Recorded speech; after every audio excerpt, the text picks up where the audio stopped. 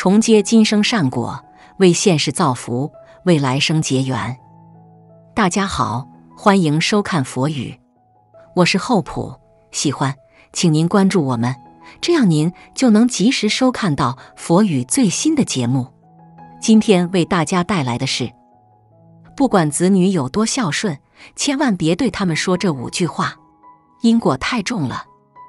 在温馨的家庭生活中，幸福与快乐油然而生，它们源自于家人间深厚的情感纽带。这些纽带不仅是我们人生旅途中坚实的支撑，也是晚年生活中幸福感的重要来源。家庭和谐的秘诀在于成员间的有效沟通，温柔的语调、恰到好处的言辞，都能够温暖人心，或者无意中造成伤害。一言一行。有力量塑造家庭的和谐，也可能成为破坏的工具。特别是作为父母，言语的选择至关重要。细微的不注意，可能会对孩子造成深远的影响。因此，有些话语，父母应当避免再提，不让言辞变成伤害孩子的武器。一、过往的恩怨别反复提。网络上曾有一个引人深思的提问。幸福家庭究竟有哪些共同的特质？在众多回答中，一个备受赞誉的观点指出，幸福家庭的关键在于事过不记仇，家中无积怨，过往不翻旧账，相处间充满温情。历史翻页就让它留在那里，如若频繁翻回，必定像钝刀割肉般损害亲情，怨恨堆积，福泽递减，怨念加深。人心疏离。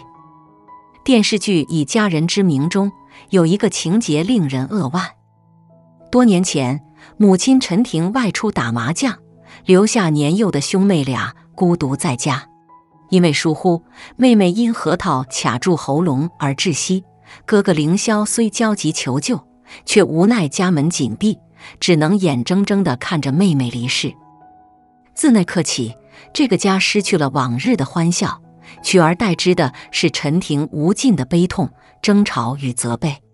她无法接受女儿逝去的现实，更不敢面对自己的过失，于是将所有的罪责都归咎于儿子凌霄。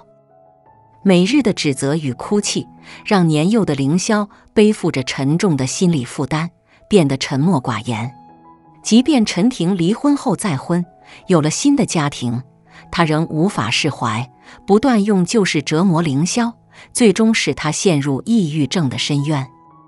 这个家也因此分崩离析，陈婷自己也落得个孤家寡人的下场。这段故事警示我们：家庭幸福的秘诀在于宽容与理解，而非怨恨与指责。只有放下过去的包袱，才能拥抱未来的幸福。二。钱财的打算，别四处宣告。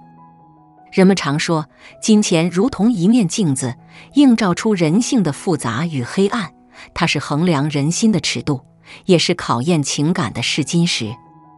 在金钱的放大镜下，人性中最隐蔽的角落往往被无情的揭露。即便是血浓于水的亲情，也可能在一夜之间变得冷漠疏离。我听说过这样一个故事，它让我深刻体会到了金钱对人性的考验。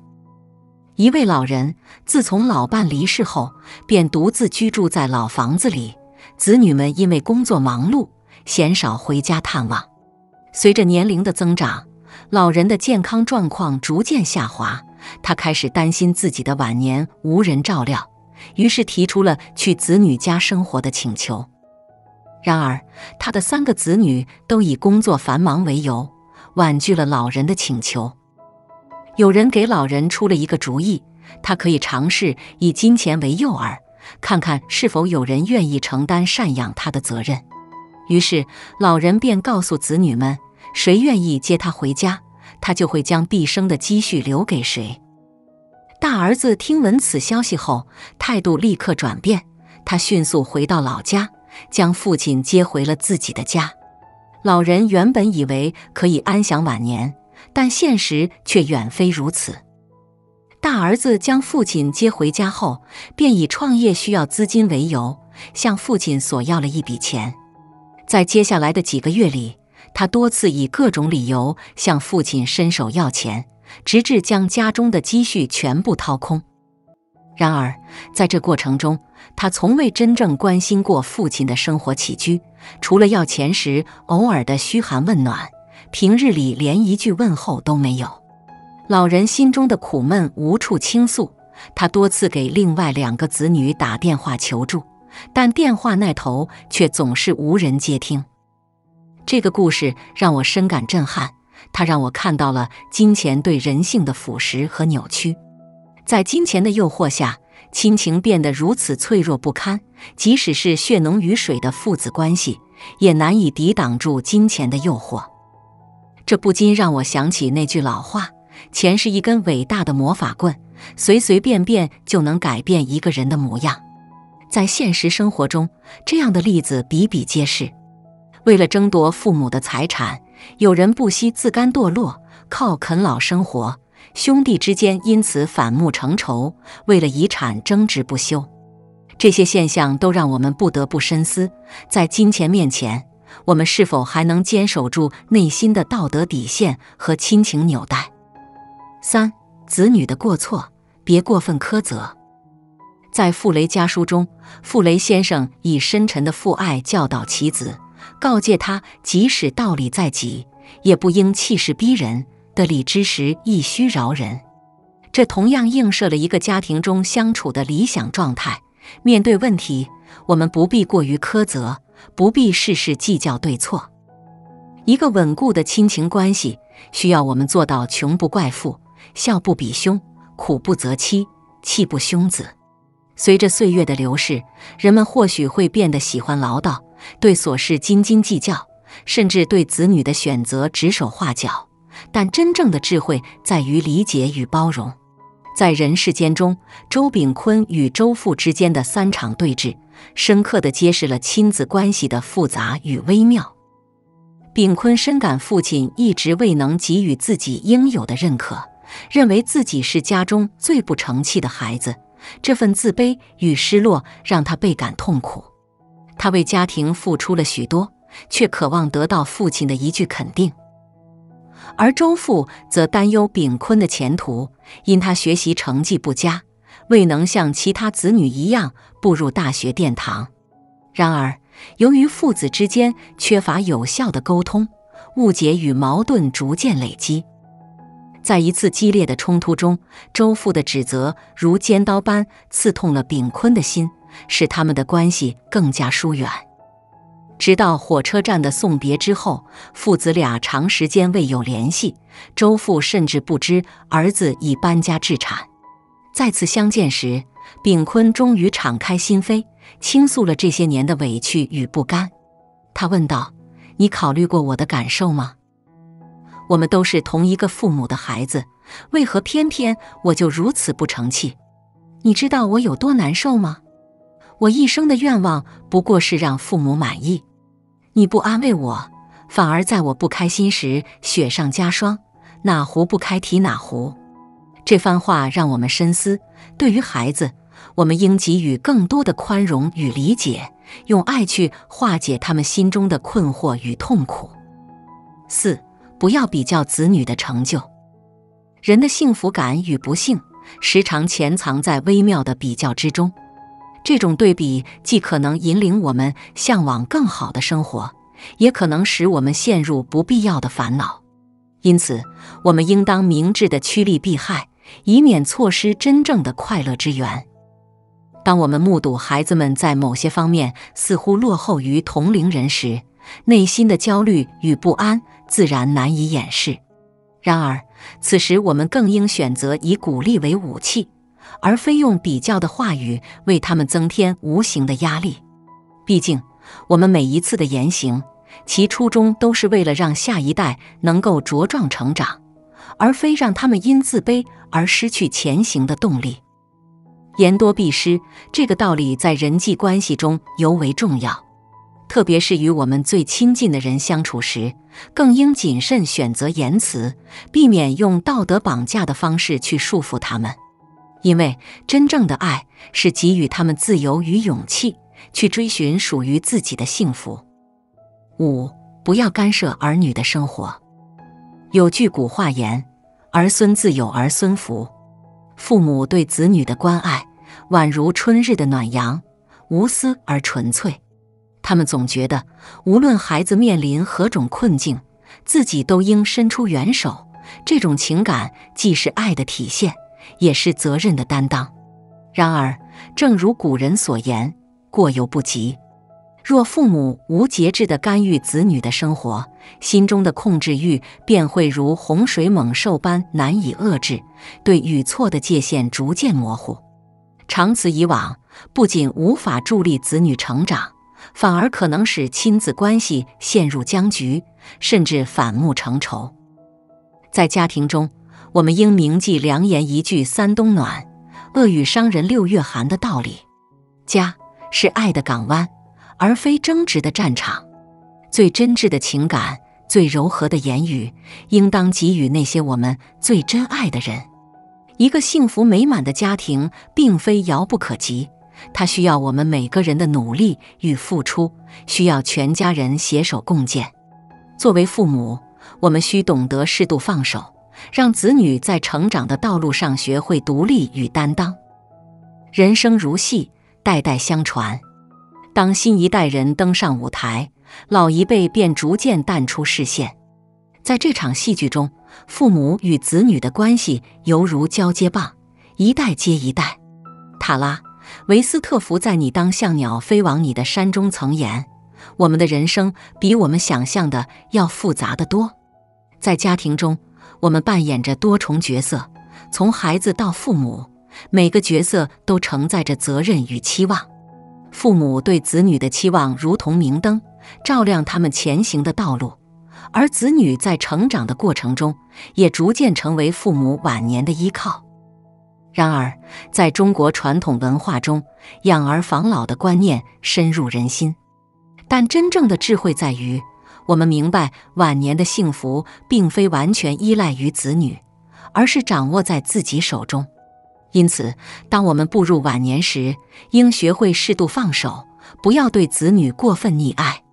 只有这样，我们才能避免后悔莫及，享受一个真正幸福安宁的晚年。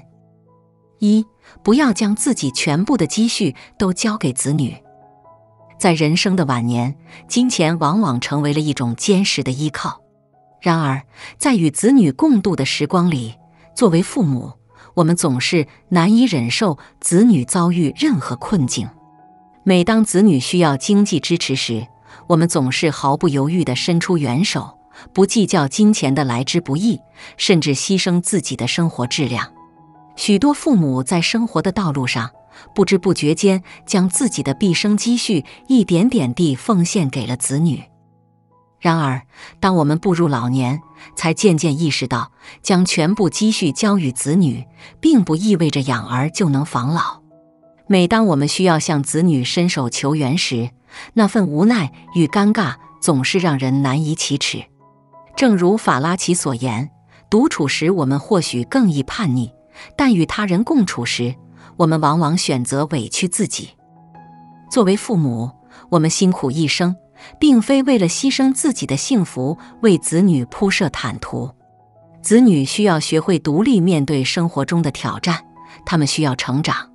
在晚年，生活的品质离不开金钱的支撑，因此，我们不应将全部积蓄都倾注在子女身上，这不仅会让我们自己陷入困境，还可能削弱子女奋斗的动力。让我们学会适度放手。让子女在生活的道路上勇往直前，同时也为自己留下足够的保障，享受一个温馨而体面的晚年。二，不要担心子女受伤，处处保护他。在漫长的人生旅途中，每个人都会遭遇风雨与挑战，但真正决定我们命运的是应对这些挑战的姿态。有人习惯性的寻求父母的庇护。每逢困境便退缩不前，依赖父母的援手，而父母出于深沉的爱，往往也习惯于替子女遮风挡雨，不愿他们承受一丝一毫的痛苦与伤害。然而，过度的担忧与保护却可能成为子女成长道路上的绊脚石。无论我们多么深爱子女，在岁月的长河中，我们都无法永远为他们撑起一片天空。要知道，温室的花朵终究无法抵御现实的严酷，过度的保护实则是另一种形式的伤害。每个人都有自己的成长轨迹，这是必经之路，无法替代。作为父母，我们应学会放手。让子女在生活的磨砺中学会独立与坚强。七几年曾言：“我们每个人都是孤身一人，只不过有时陪伴簇拥的人多了，便有了错觉。”当子女逐渐成长，终将独自面对世界的风雨，那时他们需要的是一颗坚韧不拔的心，而非无尽的依赖与庇护。因此，让我们给予子女足够的信任与空间，让他们去经历、去成长、去历练。儿孙自有儿孙福，我们只需在旁默默守护，给予他们必要的支持与鼓励，相信他们终将在风雨中崭露头角，成为社会的栋梁之才。三，任何时候别插手儿女家的事儿。人生旅途各异，每个人都有权选择自己的生活方式。对于子女，无论我们多么深爱，也应保持适当的距离，不轻易涉足他们的家庭事务。随着岁月的流逝，儿女们已经构筑起自己的小天地，拥有独特的生活哲学和人生蓝图。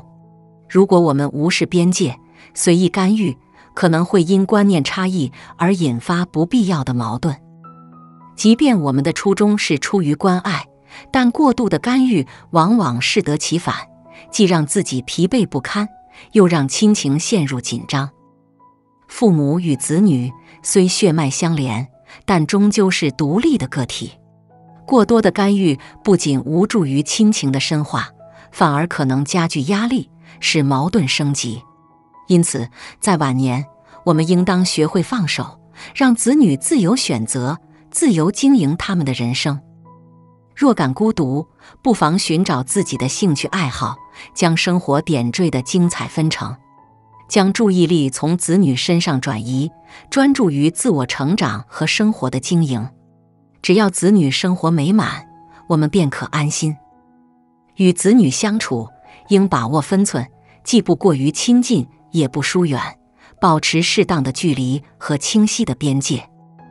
梁晓声曾言：“人生乃责任之极，爱情、友情、亲情皆由缘生，皆需润粒成珠。子女与母亲的关系，自脐带剪断之日起，便意味着独立与分离。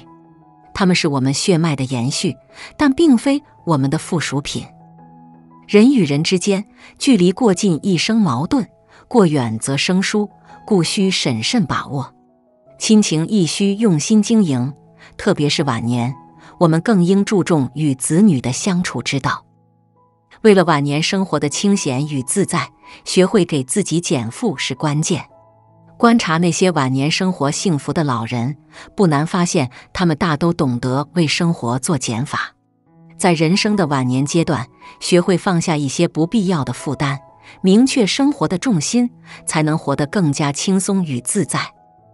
一学会给自己减负，而不是天天找事儿操心。简而言之，若老人期望晚年生活宁静安逸，首要之务便是学会释怀，不再过度牵挂子女乃至孙辈的琐事。历经一生的辛勤付出，老人们往往难以适应年华老去的事实，时常与自己较劲。年轻时，他们或许习惯于操持家事，事事亲力亲为，家人也习惯了依赖他们的决断。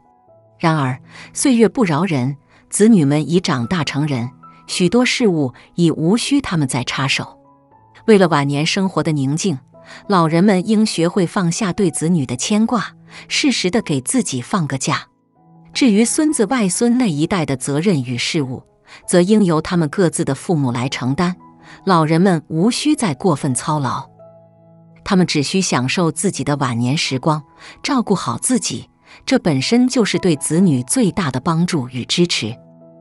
二，子女成家后各自有各自的生活。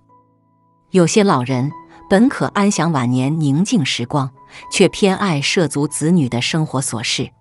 特别是在子女成家立业后，他们总是忧心忡忡，担心子女无法过好日子，于是频繁插手，不断调和。其实这源于对孩子的不信任，认为子女离开自己就无法自立。然而，现实并非如此。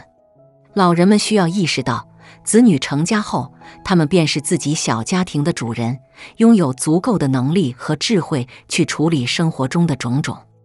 过多的干预往往只会适得其反，让情况更加复杂。回顾我们身边的家庭矛盾，不少都是源于老人对年轻人生活的过度介入。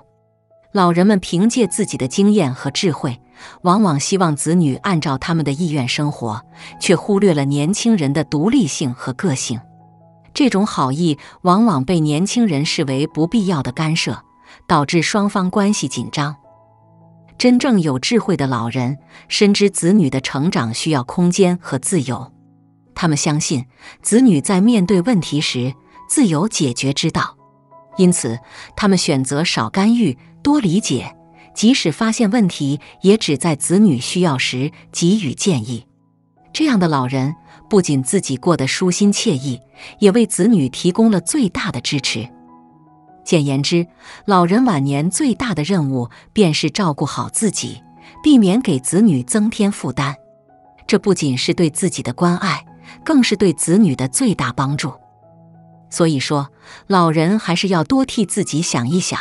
不想上了年纪还有一大堆的烦心事，那就自己看开一些，学会给自己减负，而不是什么事都往自己身上揽，然后每天都过得愁眉苦脸，各种不顺心。老人要明白，若自己都和自己过不去，那生活又如何去善待你呢？最近听闻一件奇事，一对父子前世有着孽缘，用老人家的话说，就是来讨债的。不过讨债的人不是儿子，而是父亲，这究竟是怎么回事呢？请听这个所有的自述。我和父亲的相处模式，简单来说就是不打不欢。从小到大，凡是关于我的事情，都很容易引爆我的父亲。父亲的鞋底子、手杖、皮带，我都一一领教过。记得有一次，我把家中的一个东西拿出去弄丢了。父亲拎着棒子，满村子追着我打，一边跑一边扬言非打死我不可。还好我机智，钻到了一个平时躲猫猫的小树屋里，才躲过了一劫。再反观父亲，对母亲和妹妹真的是既温柔又体贴，还慈悲。我小的时候真的是羡慕嫉妒恨的，直到熬到住校，我才迎来不挨打的好日子。不过，父亲对我依旧严苛。每个暑假，父亲都要求我做兼职，赚自己的生活费。高中除了学费外，父亲不再拨款给我。大学时，连学费也是我自己兼职做家教挣的，父亲一分钱都没有给过。母亲怕我不够花，总是偷偷塞给我一些零花钱。就业之后，父亲开始问我要生活费。每个月我都会孝敬他老人家三分之一的工资，再留一部分自己用。这个习惯结婚后我也一直延续着。每年的节日我都会给父亲备好他爱喝的酒、喜欢的香烟，早早开车回家给他送回去，哄他高兴。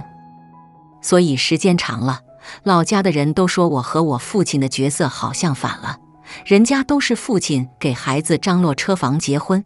我家是我自己解决的人生大事，在给父亲张罗车和房子。即便是这样，我们一家人的感情还是非常好。我也从没有怨恨过父亲，我还是经常会一句话就会引爆我父亲的炸药脾气，父亲还是会动不动怒吼一句：“打死你个小兔崽子！”有一次中秋节，我和爱人开车赶回老家陪父母过团圆节。一家人吃过午饭后，纷纷开始午休。那天天气特别好，微风吹进来，人非常的舒爽。父亲从门外走了进来，我们父子二人四目相对，父亲难得的对我笑了笑，说道：“小兔崽子，你还欠我钱，收完四万六千块我就走了，你走哪儿去？”我觉得父亲在中秋节这个团圆的日子里说这些话格外反常，也不吉利，所以不自觉地提高了分贝，问他要去哪儿。一句话喊出来，我发现包括我在内，全家人刚刚都在梦乡之中，父亲也正在小屋里酣睡。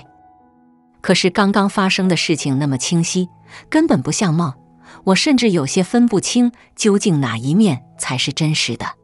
回家后，我把这个梦和妻子说了，也说了父亲是不是要离世的担忧。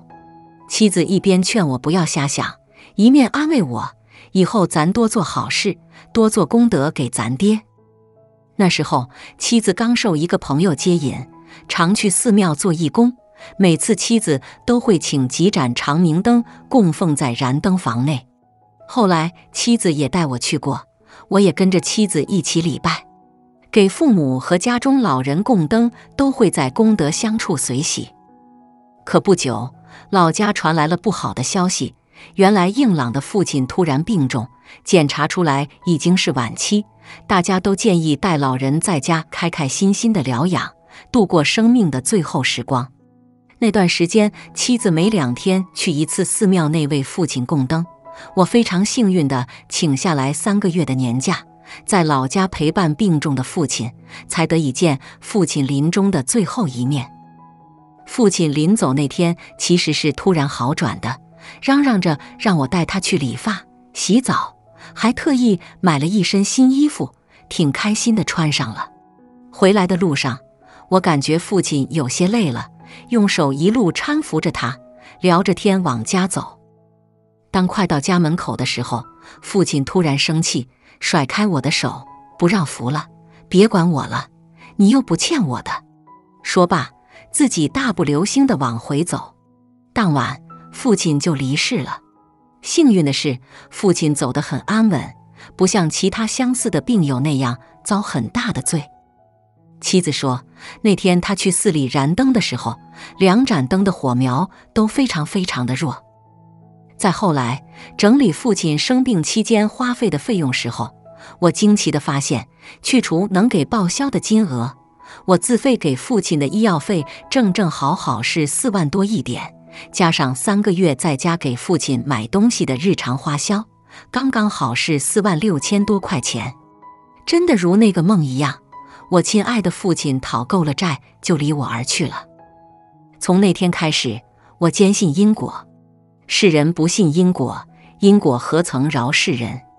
不论我和父亲是何种缘分，都离不开因果二字。父亲以他特有的方式接引了我入佛门，敬畏因果，这是留给我最宝贵的财富。即便父亲已离世，我和家人依然常去寺庙帮忙做事，也在坚持为其供灯。我和家人的工作一直在提升。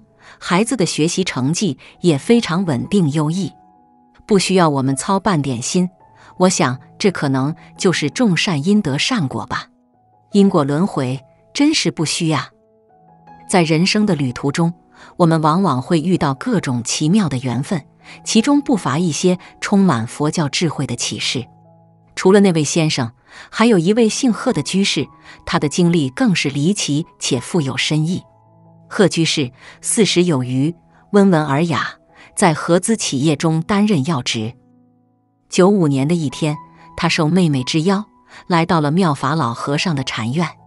妹妹希望能借助佛法的力量，为他那顽皮的侄子，也就是贺居士的儿子，找到一条教化之路。这位小公子年仅十二岁，却从小顽皮异常，让家长头疼不已。进入学校后，他更是放飞自我，贪玩厌学，甚至打架逃学，成为了老师眼中的问题学生，家长心中的头痛之源。尽管家人轮番上阵，用尽苦口婆心的教育方式，他也只是短暂收敛，随后又恢复本性，搅得家中鸡犬不宁。贺居士的妹妹深知这是前世的业债在作祟。于是他带着哥哥前来向妙法老和尚请教。他希望哥哥能在听闻法师的智慧后，也能深信佛法。妙法老和尚面色凝重地询问贺居士：“你以前是否杀过一条狗？”贺居士回忆道：“没有，我从未亲手杀过狗。”老和尚继续描述：“那是一条黄色的狗，背上有些许黑毛，身长约一米。当时你不到二十岁，身着绿色军装。”没有佩戴领章和帽徽，贺居士恍然大悟：“哦，我想起来了，那时我在黑龙江兵团，因长时间无肉可吃，我们连队的几个青年在邻村偷了一只大黄狗。当我看到时，他们已将狗吊在树上，我只是帮忙扒了皮，清理了内脏而已。”老和尚微笑道：“那你还记得当时你吃了一碗狗肉吗？”贺居士笑道。那当然，我去帮忙就是为了解馋吗？老和尚轻轻叹息：“你扒狗的皮，开膛破肚，与亲手杀他无异。如今这条狗投胎成为了你的儿子，来找你的麻烦了。”贺居士疑惑：“那他应该先找那些真正打他、杀他的人才对，而且他们吃的肉比我多得多。”老和尚摇头：“业债的报应。”并非按照我们的逻辑来，或许他们已经遭受了报应，但不一定是作为儿子。凡是参与逮狗杀生，甚至只是吃了一口肉的人，迟早都会面临因果的报应。至于谁先受报，谁后受报，这是无法预料的。希望通过这个故事，大家能够明白因果报应的道理，精修佛法，少做恶业。愿此视频的点滴功德能回向给天下所有父母，愿他们身体健康、平安喜乐。感谢大家的观看与支持，期待我们下期再会。如果喜欢本期内容，请点赞、订阅并分享给您的朋友，您的支持是我前进的动力。